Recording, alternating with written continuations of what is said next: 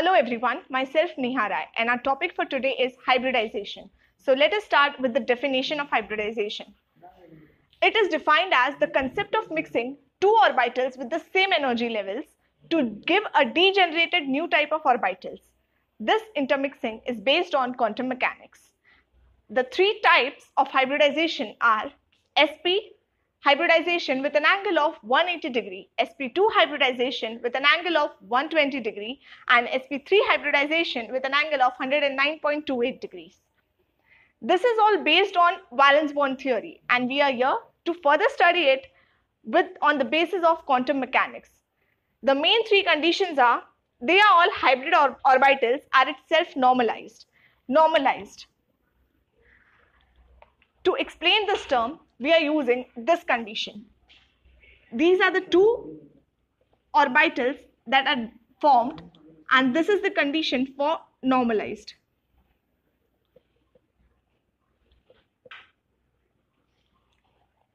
The second condition is they are orthogonal to each other. Orthogonal. The conditions for orthogonal is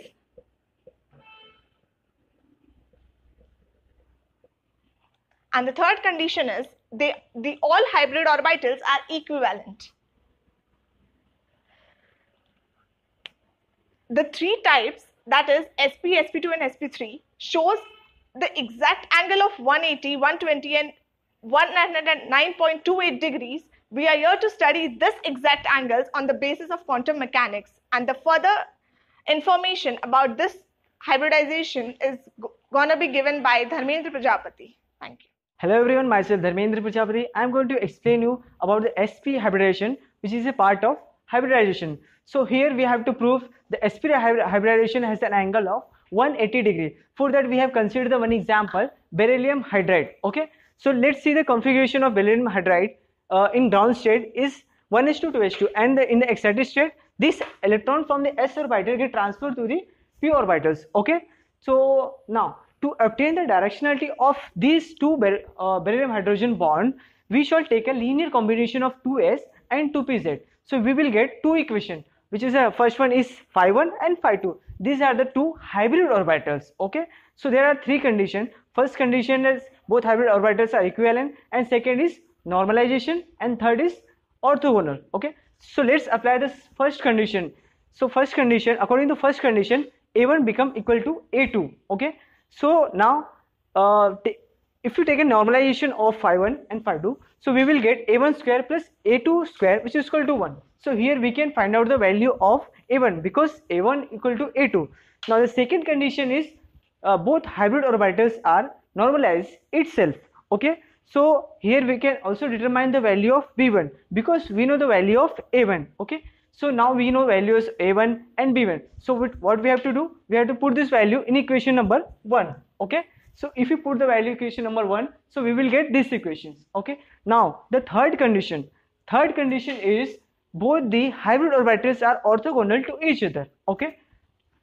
So according to conditions we will get a1 and a2 plus b1 b2 equal to 0 okay? Now the we know the value of a1 and b1 and also a2 because a1 equal to a2 so so from here we can find out the value of b2 which is equal to minus 1 by root 2 okay? So now we know value of a2 b2 and b1 okay? So from here we can uh, so what we have to do these values we have to put in the equation number 2 okay? Phi 2 so we will go get this phi 2 equations okay? 1s 2s and we will get this equation okay by substituting the value of 2s and 2pz because we know uh, value of 2s 2pz and 2px okay? By substituting these equations in the this equation so we will get phi 2 equation.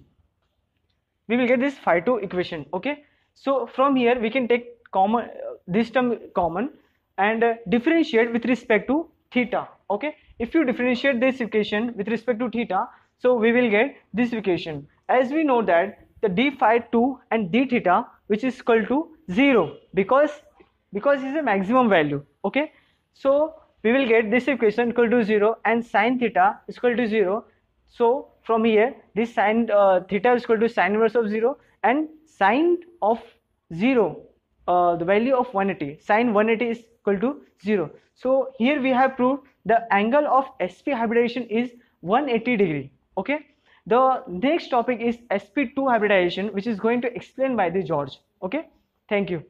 Uh, myself George Devasya and I'm going to continue the explanation with respect to sp2 hybridization. I'll be taking the example of BS3 molecule. So we can uh, so we can see that boron in the ground state boron in the excited state electronic configuration. So there is one hydrogen atom it will basically combine with uh, 1s there will be three hydrogen at atoms. So it will be combined with sp and px and pz so we'll be having sp2 hybridization. So there will be three hybrid orbitals which will be given as phi 1 a1 2s b1 2pz and c1 2px so basically i can take the value of three hybrid orbitals that is 1 2 and 3 so we'll be considering the phi 1 which will lie along z axis. So we can easily neglect this part c1 2px as it lies along the z axis. So we'll be just getting phi 1 is equals to a1 2s plus b1 2px we know that the contribution from 2s orbital 2s orbital will be evenly distributed since the s orbital is spherically symmetrical.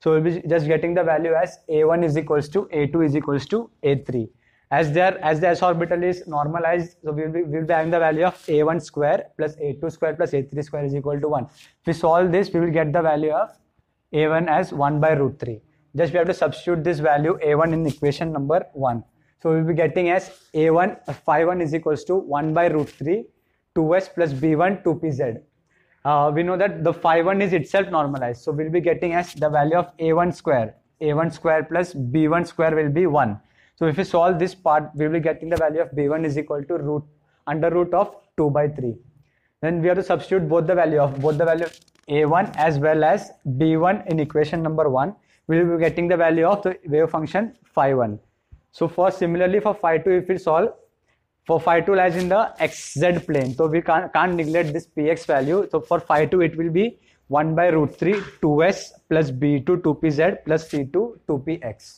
Hello guys, my name is Ajay and here we are taking uh, sp2 hybridization.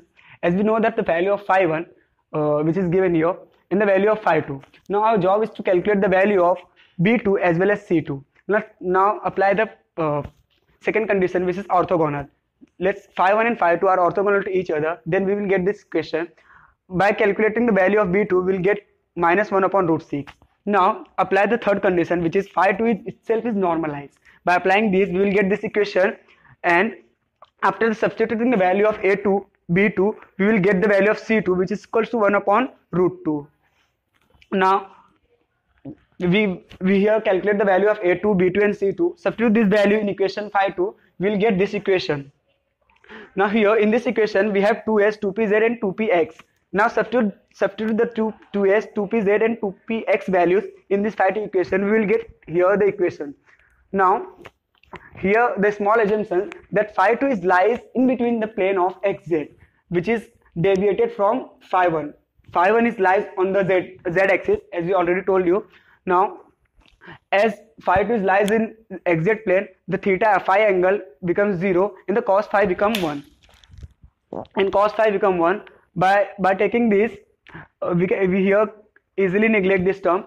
And after taking common we will get the phi 2 which is equal to this.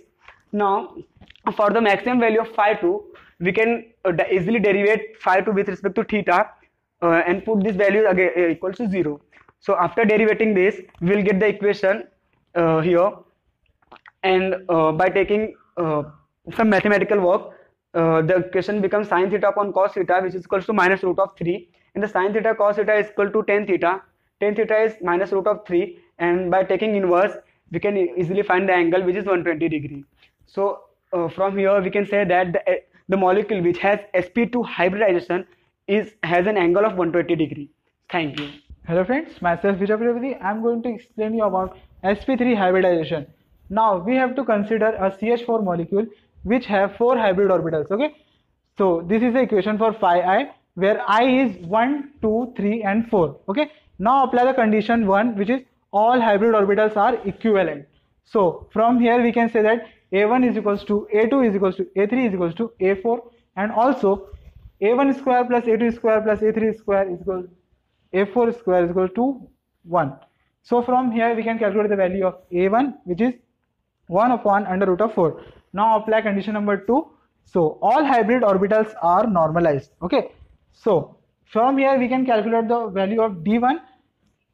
Now we have to put the uh, value of d1 and a1 in the equation of phi 1 which is lie along the z-axis. Okay. Now move towards the condition number 3 which is hybrid orbitals are orthogonal to each other.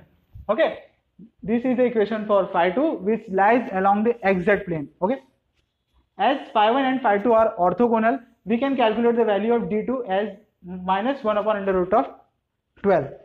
So phi 2 is itself normalized. By this uh, condition, we can calculate the value of b2 as under root of 2 by 3. Okay. Now we have the value of b2, d2, a2. We have to put these values in equation of phi 2. This is written here. Okay. By putting the value of values, we will get this equation. Okay. Now we, we have to differentiate it with respect to theta. But after differentiating with respect to theta, we will get the value that tan theta is equal to under root of minus 8. Now, by taking inverse of theta, we will get the value of theta as 109 degree and 28 minutes. Okay. So, here we can say that the sp3 hybrid orbitals have the so we can say that the sp3 hybrid orbitals have the angle as 109 degree and 28 minutes okay